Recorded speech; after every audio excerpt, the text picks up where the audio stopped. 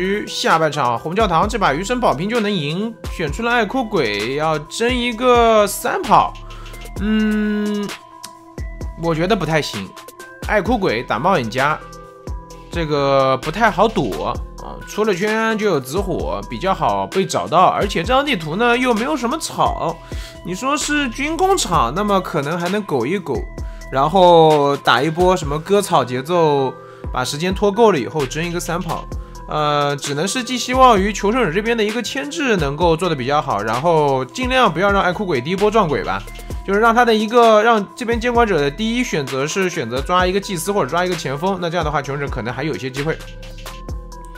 来，我们看一下啊，这一把天霸这边，哎，第一个火往前锋方向去，那还行还行，但是但是猫眼家，哎哎这。看见了啊，西吧，这没了。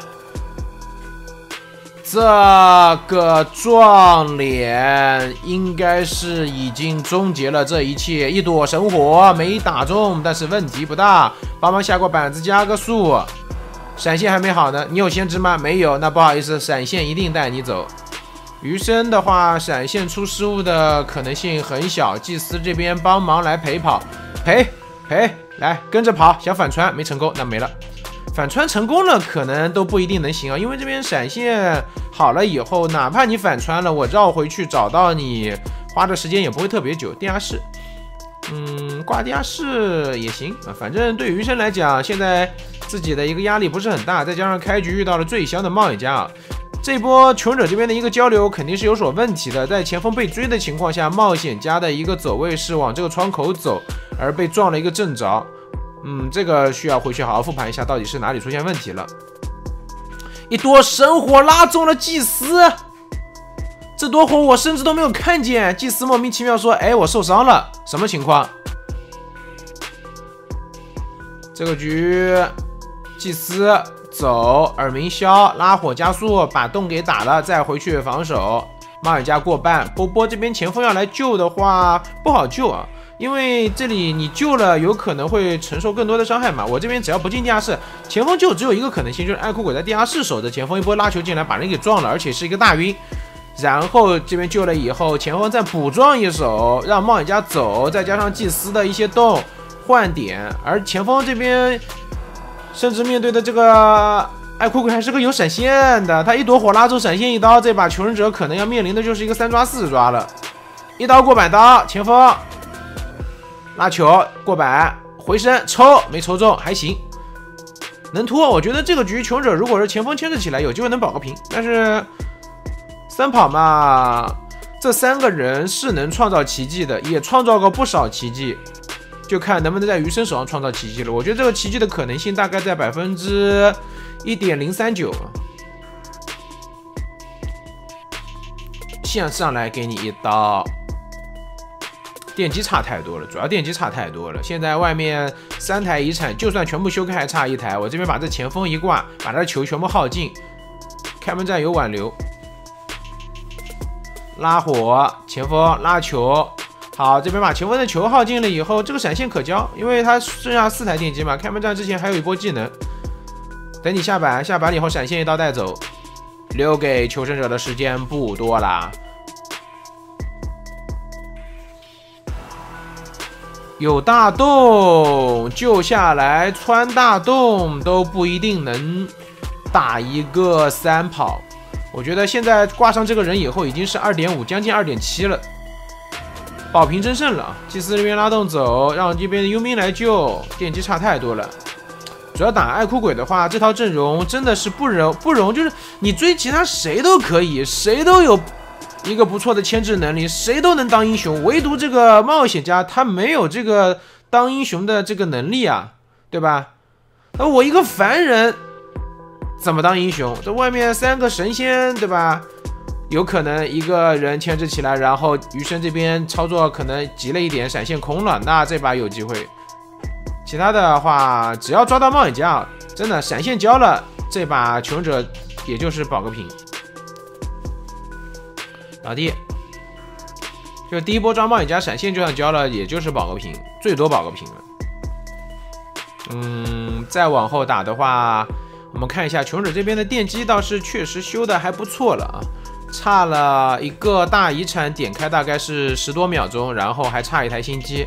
如果说安排祭司把一台电机补掉以后来救人，佣兵再重启一台呢，可能还有机会。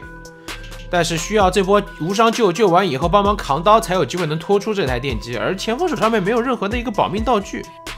两人在场开门战，前锋挂飞以后已经就可以提前恭喜 ZQ 了。那 ZQ 在这个赛季也是以一个应该是我记得是十六胜吧，十六胜哦不对，十五胜两负，还是十六胜两负，反正就输了两场，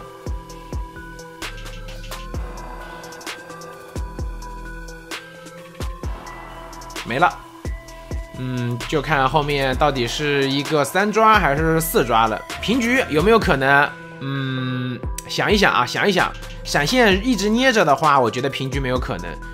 这边如果说切个传送，然后呢传过去，佣兵走了再牵制起来，然后还得祭司有一些大洞，啊，有一些那个辅助洞什么的，再加上余生呢开门战上头，哎，死追一个人，追的这个佣兵，佣兵再利用这个辅助洞跳个地窖。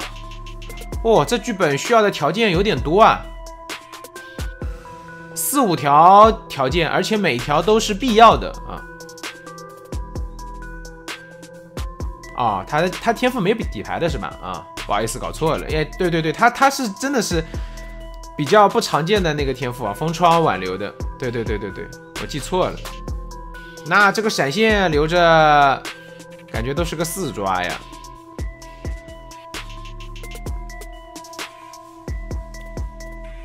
拉火。一刀抽没抽到，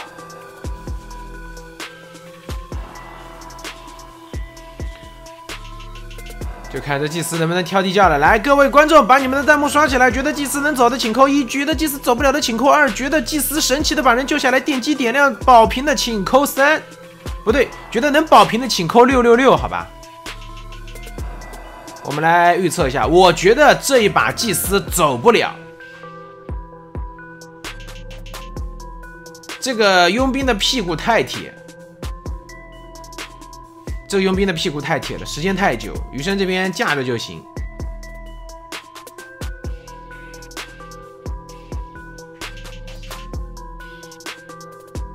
还在找，还在找，没找到祭司盾。佣兵救下来，有一个护臂被看见了。被看见的话，这没了呀。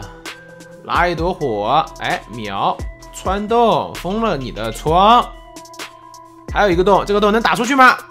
还可以，但是没动了。要救人，要救人，打一刀卡住了。哇，提前走过去卡拉火吗？有没有火？没有。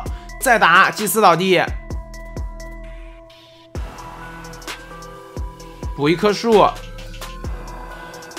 位置上面看看出圈紫火拉斜角拉火躲掉漂亮，还有一个护臂，柚子可以交掉了自己的护臂，但是祭司起来了，祭司要回去补电机，他能牵制得住吗？游民过去也可以补一朵火躲掉了，nice，祭司手有一个洞。佣兵去修电机，祭司这里能苟住吗？能苟住吗？有一个洞，他应该是在墓地这边会打一个长洞来进行一个左右横跳，滑过来，滑过来。佣兵电机有没有在修？板子下了，板子下了，这边打洞，躲躲躲躲躲，一个洞过去，好的，再绕翻个板子加个速。哎呀，不敢不敢不敢不敢，一刀没挥中，没挥中，电击电击电击电击电击电击电击，打一个震慑，能亮不亮？亮了，我去，帅！地窖就在这里，地窖就在这里，能不能再续出一个洞？但是余生他有闪现呐，这个闪现总不会空了吧？闪现啪嗒给你一刀，佣兵这边开门，三抓，天霸求生者的韧性还是很强啊。可以了，可以了，可以了，打到这个份上已经可以了，没办法，天崩开局啊，天崩开局，能跑一个就不错了。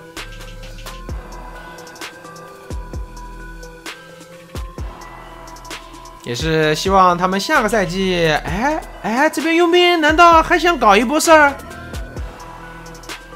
你拖不到挽留结束啊！而且没有道具，摸个球，加速过来，摸个啥？摸了个球，还真摸了个球。哎，摸了个球，打咋了？一波 S 级路线走了。好的，那么我们稍事休息啊，看下一场今天的焦点之战。